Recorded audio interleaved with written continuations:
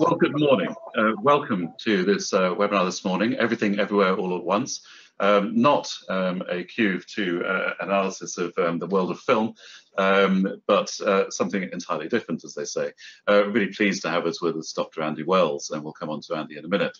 Um, I'd like first of all just to thank our sponsors um, you know, who allow us to range far and wide across the fields of economics, finance, science, technology, and other things that take our interest. Uh, we really are grateful for them for their support.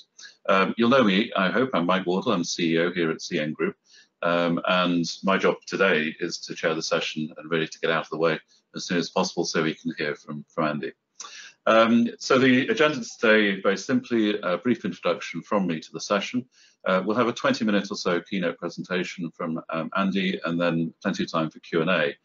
Um, for those of you who haven't used the GoToWebinar system before, the way to ask a question, which you can do at any point during the session, uh, is to find the question tab on the the GoToWebinar dashboard, uh, type in your question, uh, and that'll be fed through to us um, so that we can deal with those. And at any point during the session, please do uh, use that function.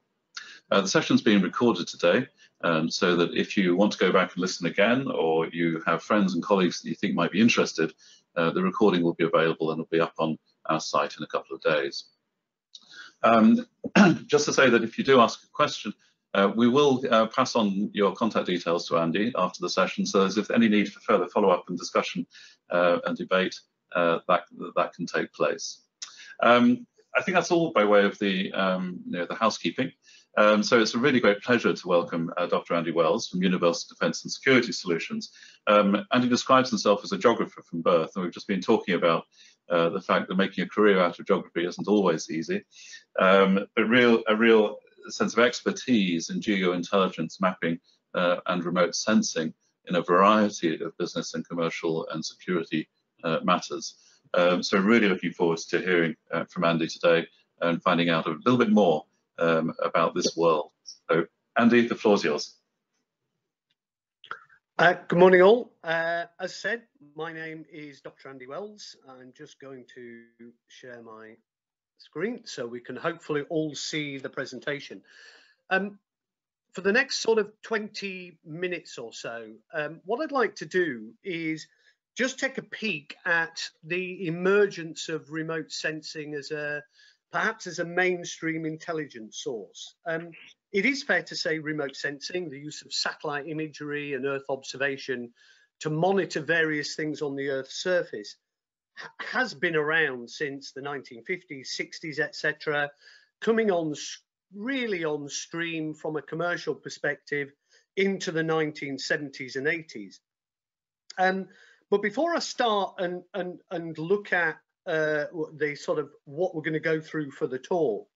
There are four main elements that I'd like to cover. One is the availability of data, a little look at the spatial resolution, what you can physically see on the Earth's surface, a bit around the, the spectral characteristics uh, and the reflectance of various objects, uh, but actually the mainstays around the value, the so what uh, as a question.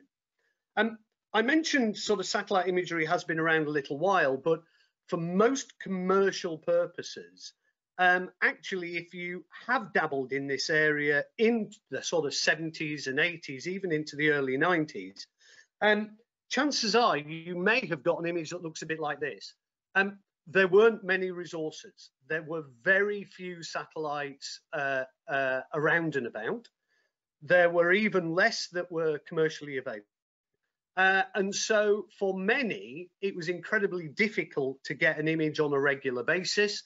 There were quite a number of technical difficulties. There were problems with some of the images, etc. And because the sort of number of satellites was so sparse, chances are if you took a target, and in this case, I'm showing Manchester in the UK, and you said, great, I have a project in Manchester. So I'd like to get an image, please. So you go online and you probably got something that looked a little like that. Um, this is a, a real example, uh, having worked for one of the largest satellite companies. Um, we actually were tasked with creating in the sort of early 2000s a single cloud-free image of the UK. Uh, we managed all but Manchester in a year and a half. and it took us a further three and a half years to actually capture one single cloud-free image for, for the Manchester area.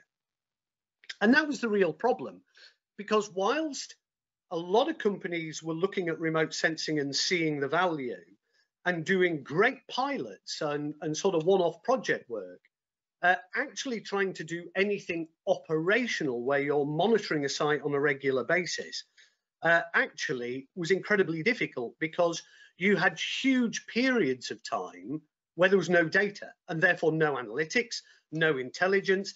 And then you may get an image three months later, be able to do something. But for, for most operational requirements, that just wasn't viable, to be honest. Um, but things have started to change. So this is uh. Uh, this was launched uh, about sort of 20 to 30 years or so ago. And the first major change is when you compare this uh, which is about the size of a, a double decker bus, uh, to the launches of satellites for Earth observation in uh, the recent sort of three, four, five, six years or so. Uh, this example comes from Planet and is, is uh, sort of a, a, collection of what they call their doves, with each satellite being roughly the size of a shoebox.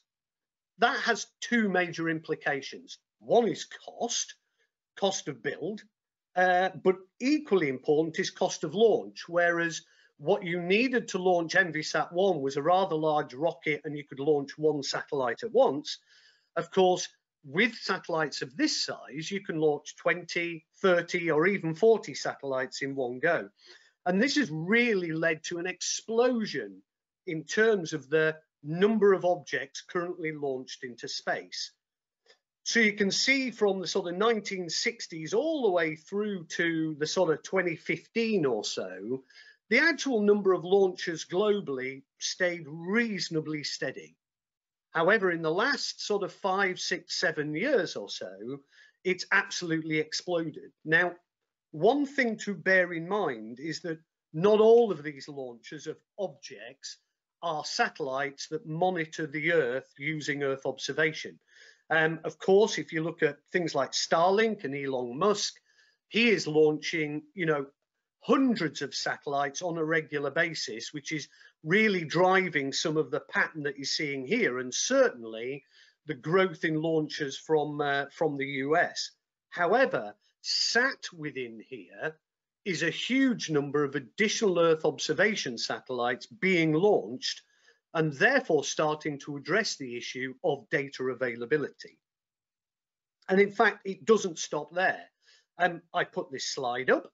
Um, from my perspective, I don't expect you to actually be able to read any of the text, but I got it from a website that maps out launches over the next five years or so. And these are each a constellation of launches that have requested permission. So they may not launch in the end, but they have indicated their interest to do so. And this is being fueled now by a large investment coming from the private sector. So space is being seen as a viable opportunity for a financial return.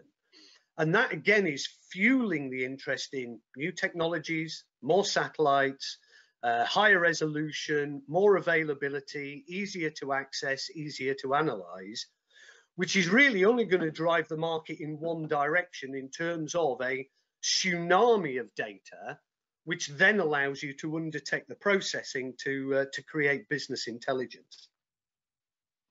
And it's not just data availability, because historically, remote sensing and satellite data was seen as a very technical uh, sort of area. You needed specialist software. You needed trained remote sensors those people needed to work their way through really quite unfriendly catalogs in order to find the image they want, then download it in a certain way, then pre-process it in order to see a sensible image before you even got to the point of starting to analyze it and, and generate intelligence. That's no longer the case. And I've, I've put up four examples here. Top left, uh, Amazon Web Services. They are making and have made available now for a number of years a vast collection of Sentinel-2 data. That is free satellite imagery from uh, the European Space Agency. The resolution's not so good, but the magic word is free. And it's also free to use, free to download, free to process. And anything you extract from the imagery is copyright free as well. So it becomes an incredibly valuable resource to cover large area monitoring. The example on the, the top right is BlackSky. Black Sky, like others, now provide tasking direct to certain clients. So you, from your laptop, if you so wish, and you're, you're willing to pay for the service, you can actually designate an area and request the satellite to task directly to try and capture that area on its next overpass, rather than waiting for uh, uh, whatever data may come into the catalogue. Bottom left, uh, a company called Maxar.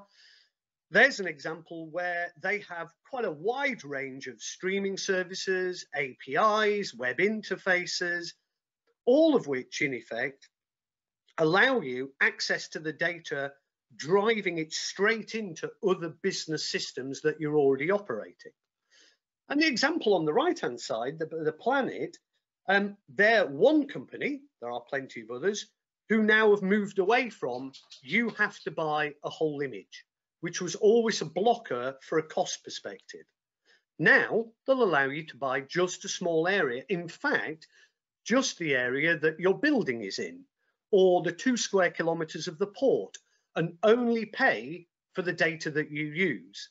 And again, this is together with the access, together with the data availability, has really broken down many of the barriers to use that we've we've struggled with over the last 10, 20, sort of 30 years or so. So let's have a look at the resolution, if you like. And again, this is a really simple example just to get context over what you can and cannot see using red, green, blue, the, the wavelengths that your eye uses. So top left is 30 meter resolution. Uh, top right, you're now down to about 10 meter resolution. At about five meter resolution, and this is the diamond light source, by the way, which is uh, uh, sited in Harwell in Oxfordshire on the, the science campus. But at this point, you are starting to see detail of fields. You could well guess that there's forestry there. You're starting to see individual buildings, etc and then down at sort of half a meter resolution, and current resolutions from space are about 30 to 40 centimeter, at least in sort of black and white, you're now starting to see a sort of a, a really quite high level of detail, and your eye is starting to discriminate certain targets, which machines and systems can also do. So that gives you an, a, an idea on the, the resolution side if we now look at uh, spectral uh, uh, aspects, our eye sees in sort of red, green, blue light. But as many of you will know, there's an electromagnetic spectrum and the wavelength of light varies from very long to very short. So there are other wavelengths that are emitted or reflected from the Earth's surface, near infrared, mid infrared, thermal, etc one of the big advantages of satellites are that they can see in these other wavelengths and they can see things that you can't. And a simple example is when plants photosynthesize and when they're happy and they're growing, they actually throw off near infrared as a byproduct. Um, and the satellites can pick that up and start to understand and see whether a particular crop is healthy or not, or within a field, whether one part of the field is growing well, but a, another part is not.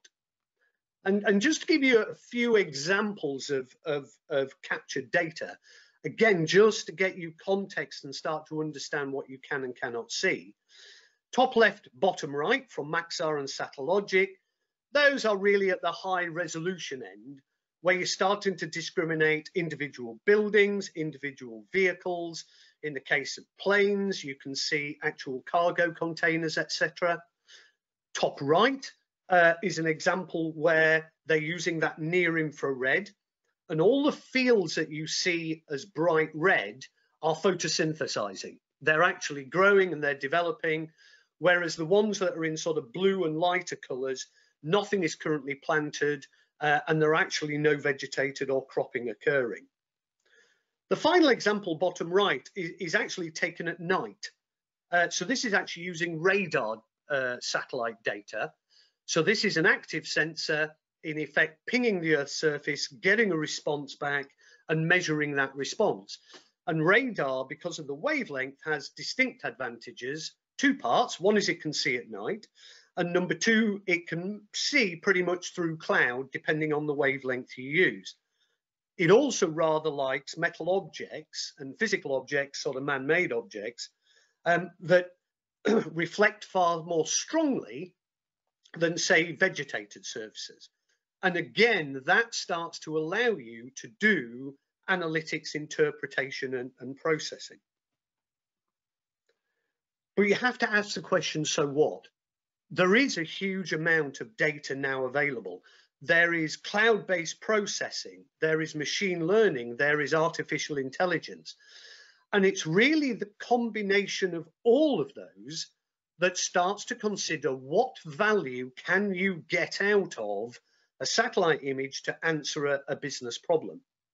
So what I thought I'd do is I'd just give you a few examples broadly within the finance environment, again, to sort of spark the neurons, start to get an understanding of what might be possible. And then you as, a, as an audience can start to decide whether you need to engage with satellite data a little bit more than you are doing at the moment. So we'll start with one example, which is sort of the commodity side. Uh, and all of the examples I'm going to give, bar the ones I specifically say, are examples of operational services. They're not R&D. So in this case, this is monitoring uh, oil storage facilities um, using satellite data to try and get indications of the total amount of crude oil or processed oil stored at any one particular site globally. Remote sensing can offer quite a good indication of that, although for certain very high value sites, such as the inset image, actually a number of companies use regular drone data to support the remote sensing. And I'll, I'll come back to that point in a moment about using satellite data on its own versus integrating it with other, other sources of intelligence. Uh, on the right-hand side, similar thing, but in this case, it's actually using radar data to pick up the response of, of iron ore uh, to look at storage, large areas of, of raw material iron ore or processed iron ore in and around ports or in our mining areas, from which theoretically using other types of satellite data, you can start to get volumetrics and start to understand the outputs from a particular mine or the physical amount of raw material stored at any one particular port ready for shipping. Bottom left, this was a pilot. So this, this example here was done on drone, but is now transferred to uh, uh, satellite data. This is physical counting of palm trees. So the aim is to identify and understand the object. That's what's on the left. On the right, the machine learning identifies what in effect is the center of each individual tree and then uses that to calculate the total number of trees per hectare and therefore the likely output from that particular palm area uh, in the coming year or so. And then another area on the sort of general agriculture side, which has been around for, for quite a number of years, uh, is things like uh, uh, uh wheat prediction uh, or other crop prediction in terms of uh, likely yield.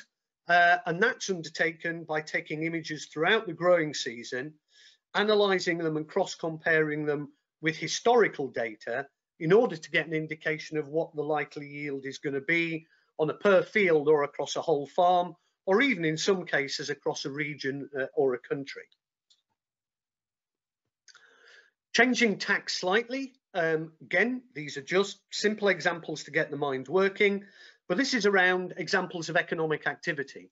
Uh, on the left, this is some work uh, done in partnership between the Catapult and CGFI, and they were looking to identify particular assets on the ground. Uh, in this case, it was brickworks, and then using satellite data and either visual interpretation or machine learning slash artificial intelligence to identify the object as a brick kiln automatically. As we know, brick kilns do produce quite a lot of emissions, and the mapping of them globally is actually quite poor. So things like brick kilns, steelworks, or other industrial activity using remote sensing to identify A, how what it is, B, how big it is, C, whether it's active or not, and then you can start to use that to build up intelligence on likely emission databases or likely economic activity. The one on the right, slightly different. This was done for a, a large retailer in the US who wanted to get intelligence on how busy their competition was. So they used remote sensing to do car counting in car parks. And that was then delivered in effect through a web interface, which is what you can see on screen here. So rather than this sort of large retailer having to deal with satellite data itself, all they got was the intelligence they needed to get an understanding of how their competition was, was doing. If we move to insurance, uh, this is one example. There are actually quite a number uh, of examples of use of remote sensing within the sort of insurance sector. But in this case, this is cat response. So uh, catastrophic event, in this case, storm damage. Um, clearly, there is a time lag. You need to, if you're using optical data as this example is, you need to wait till it's not cloudy. Although integration of drone-based data can help sort of speed that process up, which is what a, a number of insurers are doing. But in this case, you're using machine learning to do automatic identification of roof damage on a per property basis. And then this particular system ties the percentage of roof damage to a database. It then attaches an address. And then in partnership with the insurer, it writes that intelligence to the insurer's book on a property by property basis to give that insurer or reinsurer some likely footprint of which buildings are likely to be damaged, how badly they're damaged, how much it may cost them, or where they may need to send ground resources in to do things like a, an assessment. If we look at the built environment, um, again, live program, uh, this is looking at solar potential. Uh, there is now national mapping in the UK and there's plans to start going across Europe and, and, and farther afield of the solar potential of every single uh, land plot uh, across the whole of the UK. And similarly, uh, for every single building. So this uses a mixture of data. There is some remote sensing in there, but it also uses things like slope angle, aspect, nearest connection point, current utilization of the, the landscape, net worth agriculture or arable, for example. Um, things like the physical area, whether there is a road next to it, if you need to get vehicles on to actually develop the site, etc. So rather than remote sensing being used on its own, better integrated with other data sets. And that allows you then to get in effect sort of kilowatt hours as a marker on a per property or per land parcel basis for a particular site you're interested in. And a little peek into the future, this is sort of imminent technology, which is high resolution thermal. So Satellite Vu uh, have now been around for a few years. Um, I think they've launched or they're planning to launch fairly soon, uh, but that will give you about three meter resolution thermal data to look at emissivity of roofs or for other targets that have a heat differential to the area around them. And if you really want to go pedantic, and there is a reason for this, then there's actually been projects uh, looking at an urban area, and the inset down the bottom is starting to identify properties with front gardens that are still grassed.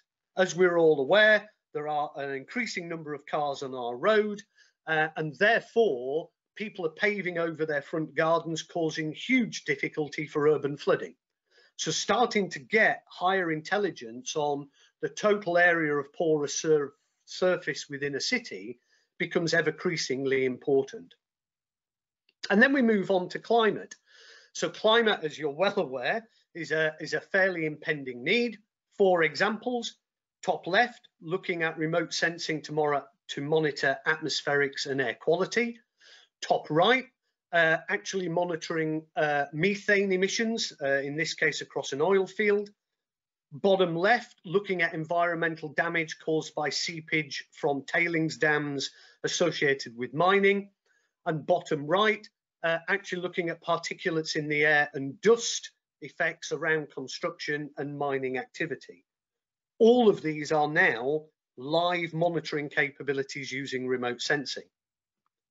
Uh, and for those looking at the sort of investment market and the voluntary carbon offsets, this again has started to emerge as a viable uh, approach for remote sensing.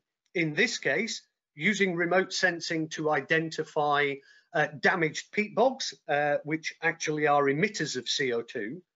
And then the inset bottom right is using radar data to measure millimetric changes in the surface of a peat bog.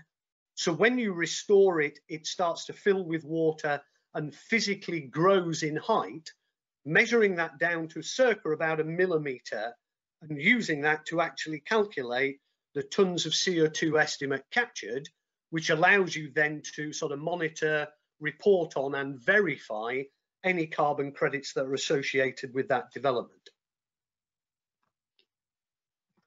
Um, I'm running out of time a little bit, so I put two slides in about who we are, Universal Defence. Um, one is we, we are the, the largest pool of former UK military staff in the UK. Uh, and, and our role here is we, we collect that sort of defense, security, intelligence, geospatial intelligence experience. And we partner with British industry to provide solutions on defense and security but we also increasingly now do it for, for commercial activity, finding the right capability in partners, building a solution that meets the needs, and then using our experts within the team to make sure that our solution is delivered on time to specification and meet the actual client need that's required. I put a couple of characters in. Uh, they will be part of the deck that's provided, so I will not go through them now, but it gives you a flavor of the, the types of individuals within the team. And basically, I'll leave you with one thought then before we go to Q&A. Um, I entitled this tongue-in-cheek, Everything, Everywhere, All at Once. Uh, that's a bit of a lie, right? So if I were to say that remote sensing can see everything you want, everywhere you want to see it, and all at the same time, that's not the case. Weather and cloud is still a major issue not as much as it used to. When you only had one overpass of a satellite every five days, it was a challenge. Now, for various parts of the Earth, you're getting 15 overpasses every day from different satellites. So the likelihood of seeing what you want to see is much, much higher. But what I would ask you to be is be curious. If you've got business challenges, issues, you're wondering if remote sensing can enhance your current uh, knowledge about the landscape, what is occurring, what has happened previously, then ask. Because if you don't ask, you will never know. And, and what we pride ourselves in is often saying, no, you can't, as much as yes, you can. And on that note, I'll say thank you very much for your attention, uh, hand back, and hopefully there'll be a, a few questions. Well, thank you very much indeed, Andy, for that overview. Um, I guess a, a, question for me is um, a lot of people are staking a lot on sort of climate measure, you know, remote sensing as a measure of climate action.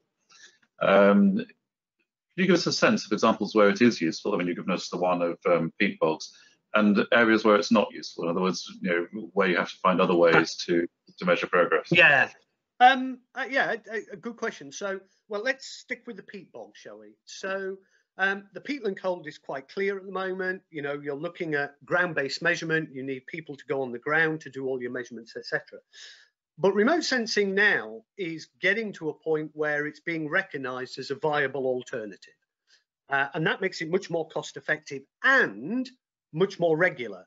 Whereas you always had to estimate your amount of CO2 uh, sequestrated, and therefore you were estimating the value of the credit, and you always had to underestimate.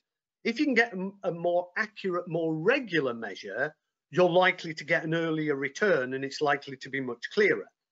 And for peat bogs, because of the nature of the landscape, remote sensing offers a really viable solution.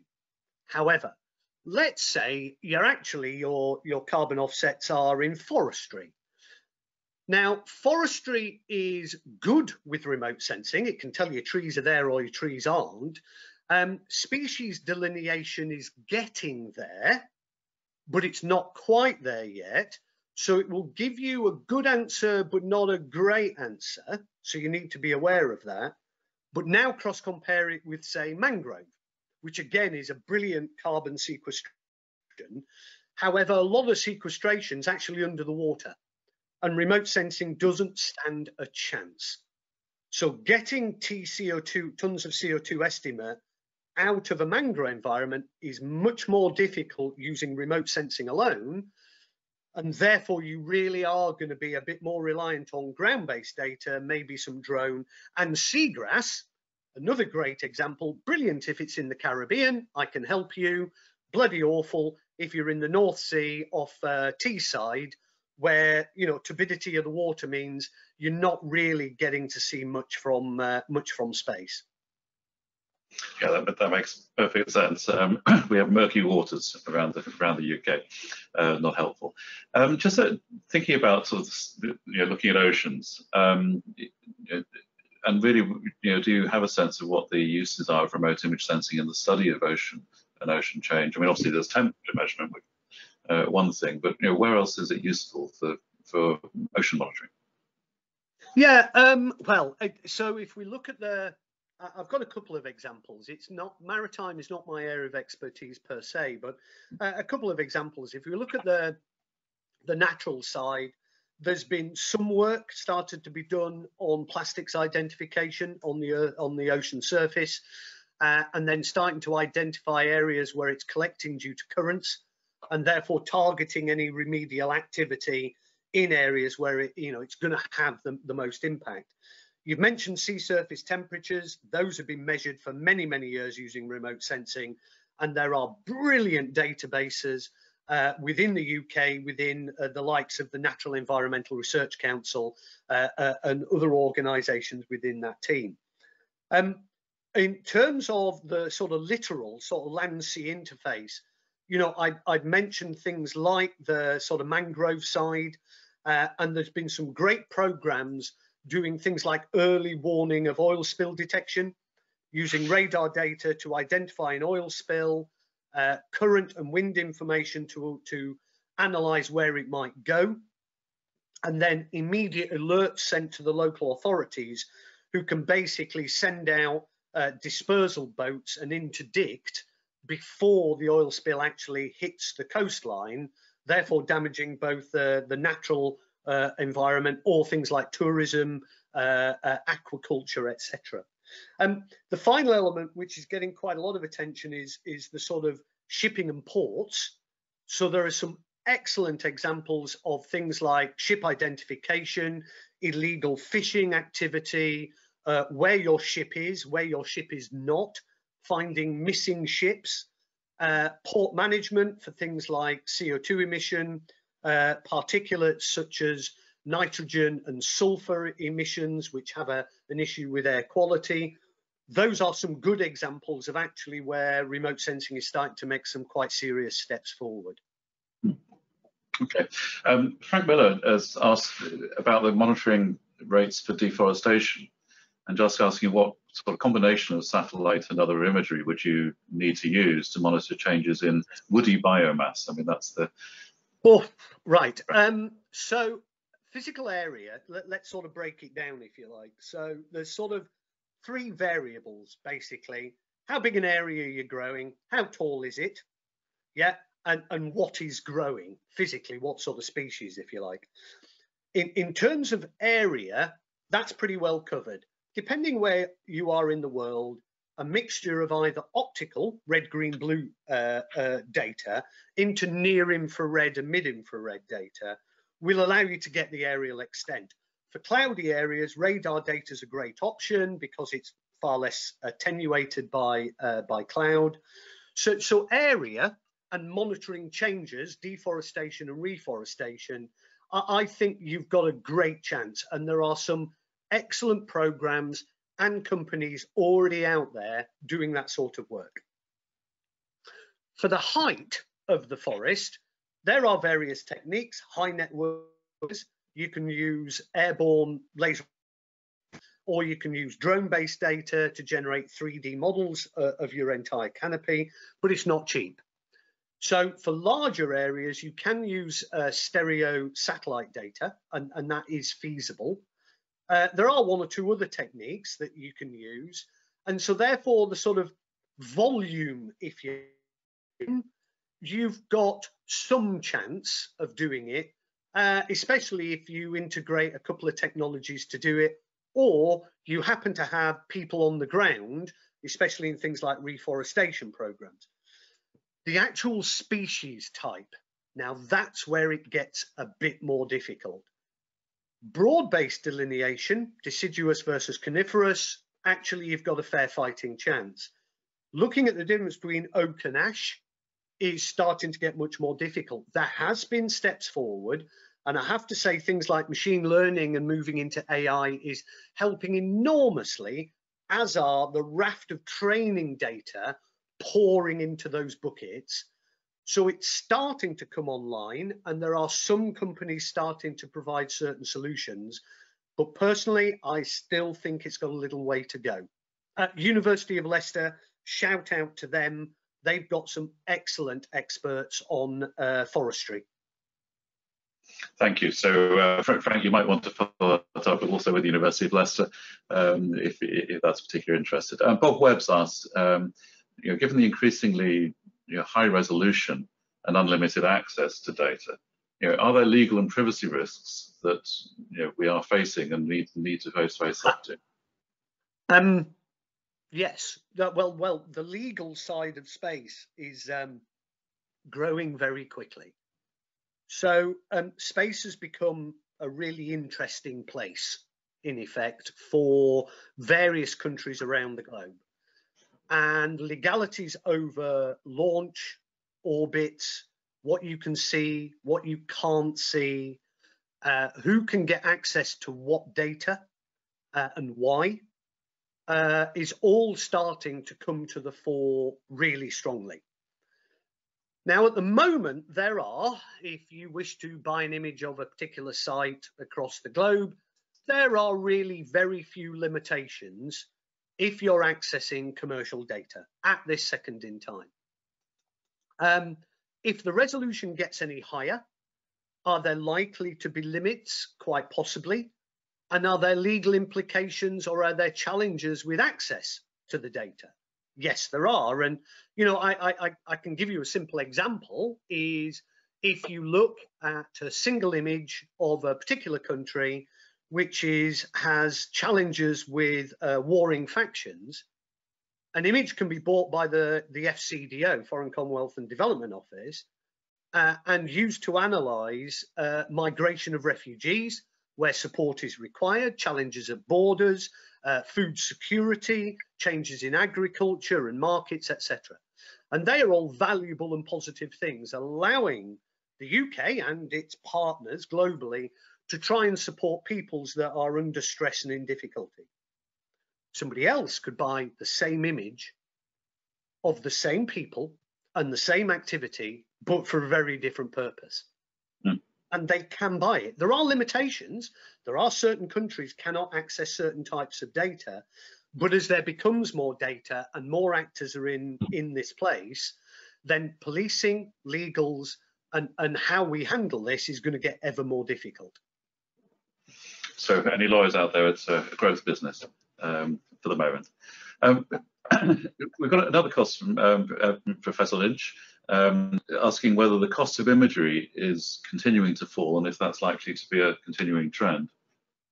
Yes, yes, and yes. Um, there will be a bottom to the market. There always is because you know you you can't empty costs out of a of a process to to zero. Um, however, you are quite right. The costs of imagery have dramatically fallen, and the reason being is that turn the clock back the main people who were willing to pay for a satellite and get access to it were governments, either on the defence side or on the civilian side. And you're talking about large beasts, expensive to build, expensive to launch, expensive to maintain. Therefore, the imagery was expensive. Of course, there were those who booked that trend, the Landsat series from the US, brilliant, absolutely fantastic, free to use for now, God, 20, 30, 40 years, I, don't actually know, but a very long period of time. The moment that you start to get increasing competition and launches from multiple different companies. And those companies were not linked to governments and they weren't governments, they were commercial bodies. And the moment they started to make money is the moment the finance markets woke up and started investing in them, which fired the circle again. So at this moment, you can still pay many thousands of pounds per image if you want very high resolution, tasked over a certain area, closest to a certain length of time. However, if you don't, and you want, say, three meter resolution of your house, and you had the right relationship or agreement with the provider, then you, out of archive, you may be talking about 10 pounds. For one square kilometre.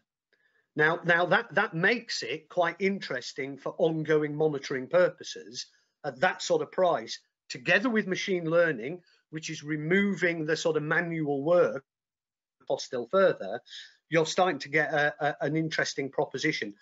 Final point, there are more actors coming into the marketplace. There are more launchers. So yes, I do expect pricing to continue to tumble. Thank you. Um, and so if you had your crystal ball with you, um, and you wanted to look into the future, where, do you think the, the next development is going to go in terms of remote sensing? What's the you know, what are people thinking about, which isn't yet isn't yet delivered, but, but where might it go?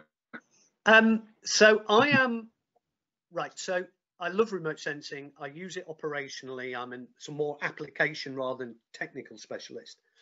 Uh, and clearly, understanding what's coming down the line helps the the sort of the applications of tomorrow, if you like.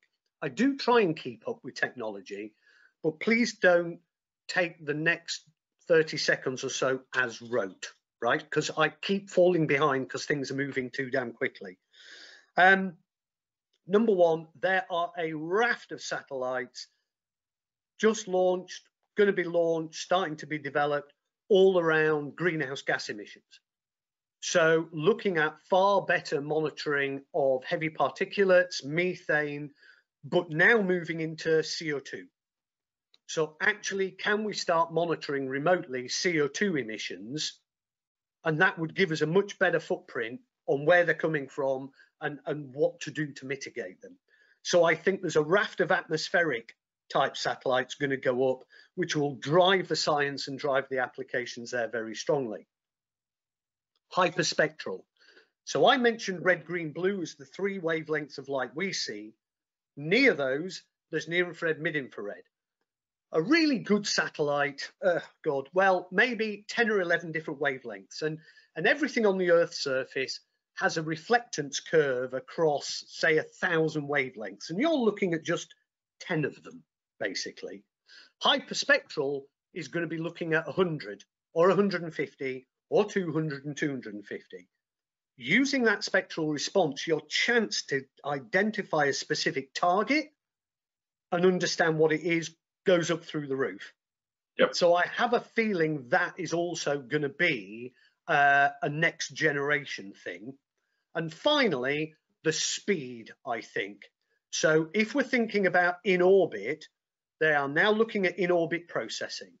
So satellite A takes an image, passes it to satellite B, who processes the image and only sends the results back, which might be a tiny little area going, you've got a problem and it's here.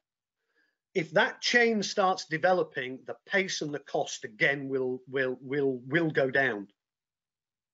Thank you very much. Um, we have a, a short poll um, for the audience, just as a, a finishing off. Um, and so, if we could launch the poll. Um, just asking, um, you know, given the discussion we've had, uh, which of these options is, is, more relevant to your work? Satellite imagery remains unlikely to offer value. It may offer some benefit, and you can see the potential for significant additional value. So do to vote. Just waiting for the results to come in. And uh, if we can show the results, please.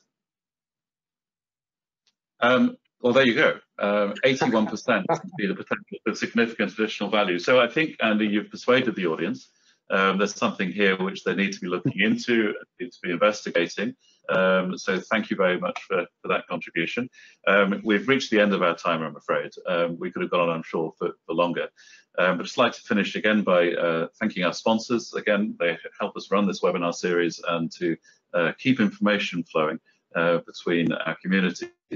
Um, and finally, we've got some uh, interesting events uh, on the stocks um, on Monday the 21st, uh, helping unlock finance for SMEs in the race to zero. On the 23rd of August, financing for steel sector decarbonisation. So a real focus there on um, you know, carbon and uh, climate. And on the 29th of August, authorised push payments, uh, just updating us on uh, you know, latest developments. Do keep an eye on the website for future events. Um, but by way of thanks, Andy, normally on a uh, real life event, I could throw this open for a round of applause. I can't do that today, but the thanks uh, of myself and the audience are genuine nonetheless. Um, it's been fascinating. Uh, thank you so much for your time. My pleasure.